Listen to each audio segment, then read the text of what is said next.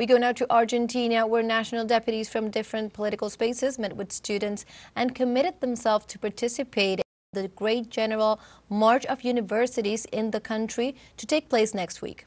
During the meeting, the legislators asked the national government to adopt measures to ensure the full functioning of the country's universities. They also analyzed the situation of university education, referring to the deep crisis it is going through due to the 72% reduction of its budget. So far, the cutback has had a serious impact on the salaries of all personnel, infrastructure, on scholarships, and even on its institutes and hospitals.